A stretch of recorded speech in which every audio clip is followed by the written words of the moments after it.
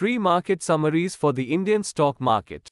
Trading of Nifty 50 index futures on the Gift Nifty indicates that the Nifty could rise 11 points at the opening bell. Overseas, Asian stocks are trading higher on Thursday as investors assess China's January inflation data and await the Reserve Bank of India's rate decision. U.S. stocks advanced on Wednesday as strong earnings offset jitters related to U.S. regional banks and China's markets.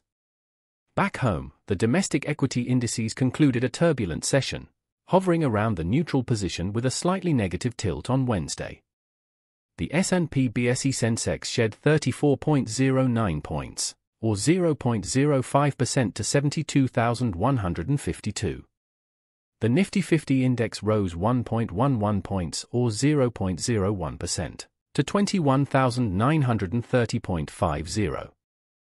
Foreign portfolio investors, FPIs, sold shares worth 1,691.02 rupees crore, while domestic institutional investors, DIIs, were net buyers to the tune of 327.73 rupees crore in the Indian equity market on the 7th of February, provisional data showed.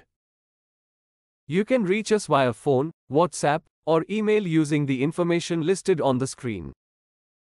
Thank you for joining us today. If you found this video informative, please give it a thumbs up, and don't forget to subscribe for more financial insights. And, as always, if you have any questions or topics you'd like us to cover in future videos, leave them in the comments section below. Until next time, happy investing.